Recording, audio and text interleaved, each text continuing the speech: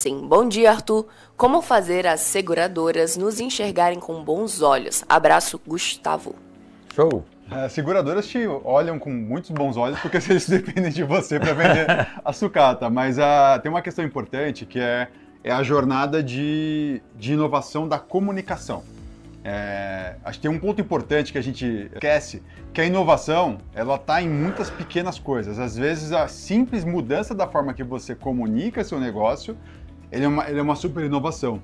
Quando a gente fala do mercado, mercado, da desmontagem de veículos, que é o nosso caso, é o caso do, da, da, tradição diesel, é, você tem aqui é, toda uma questão de um estigma negativo que criou-se no mercado, de forma até justa, porque a gente sabe que tem uma parcela grande do nosso mercado que é da turma do ilegal, que, que, que trabalha com peças roubadas, etc. Mas nós, do lado legal, a gente, por muitos anos, não, não trabalhou a inovação dessa comunicação.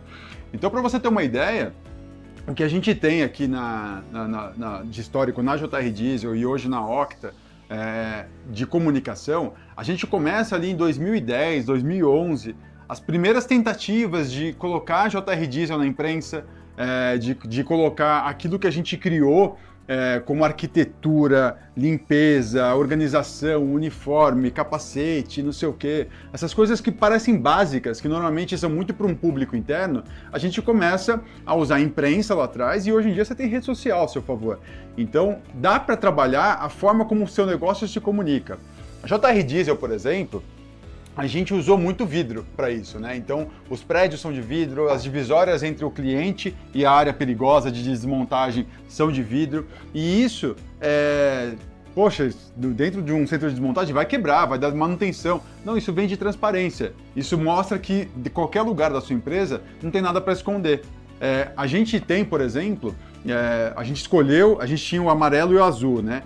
É, como na, na, no nosso logotipo. Aí eu fui estudar o que, que as cores representam dentro do logotipo. O azul eh, representa seriedade e a gente jogou tudo para dentro do azul. Então, são coisas pequenas em uma comunicação que daqui a pouco, puxa, a maior seguradora do país quer abrir um centro de desmontagem, procura a gente. A maior montadora de caminhões do Brasil quer construir um projeto de logística reversa de ônibus articulados, procura a gente. O governo quer regulamentar o setor, procura a gente. Então você tem toda uma jornada de transformação da comunicação. Falando em comunicação, olha, que sirva essa informação para você com esse título. Nós não inventamos a lâmpada, nós copiamos. Nós só melhoramos a, a, a, a luz, melhoramos o modelo, melhoramos o tipo de energia, mas nós também copiamos. O Arthur andou nove países diferentes que se, se considera país. Eu não falo esse negócio de primeiro mundo, para mim, do meu ponto de vista, não existe primeiro, segundo, terceiro mundo. Existe gente que já vem fazendo, gente que copia e supera. O Arthur saiu nove países copiando o modelo de cada coisa para fazer regulamentação, para fazer inovação, para poder trazer novos modelos, para pôr processo dentro de uma reciclagem automotiva que era um desmanche, para se transformar num centro de reciclagem profissional, hum, é, profissional e formalizado instar a regulamentação e conseguir evoluir em, em, em inovação sem, e preservando os valores. Então nós desemperramos todos os dias. Ah, mas vocês são desemperrados? Não, nós não somos desemperrados. Nós estamos em processo de se soltar. Então quando fala desemperrar, não é você soltar tudo e se joga, se joga, vai pro risco. Não, solta uma pontinha de cada vez, faz com, com sensação de segurança, foi o que nós fizemos.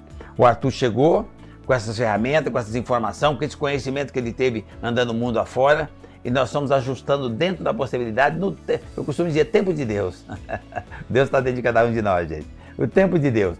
Então, cada um respeitando o seu tempo, as coisas foram acontecendo.